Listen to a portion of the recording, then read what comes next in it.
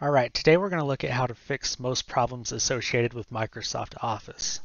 That could be Word, Excel, um, etc. You know the programs. Uh, if you're on Windows 10, here's what we're going to do. You're going to go down to the search bar, go to Control Panel. Uh, you'll want to view by category for this tutorial. Click on Uninstall a Program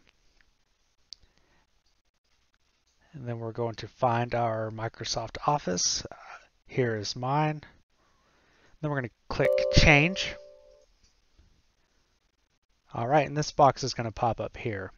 You've got two options. Uh, if you have internet, online repair is the best option for you. Uh, quick repair, if you're not using internet for whatever reason, but if you have the option, use online and that fixes most issues with Microsoft Office. Now, if the repair doesn't work for you, um, I've included a link, a link to this page here. So what this page is going to bring up, uh, you're going to scroll down about halfway through the page, and you're going to look for uh, run and repair didn't help, now what?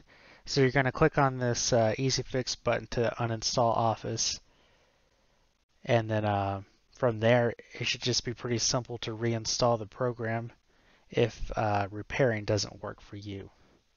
And uh, I haven't had a case where this didn't fix the problem unless it was an Outlook, which uh, I might make another video for later. Thank you.